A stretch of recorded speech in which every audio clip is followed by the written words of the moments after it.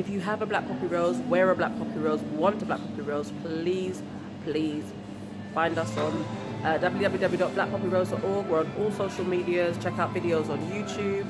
And if you do have one, please tweet it, send it out, post it, help us to get this everywhere. Um, because it's your voices that will help us to take it further than we can take it. Thank you very much for your support. www.blackpoppyrose.org. Thank you.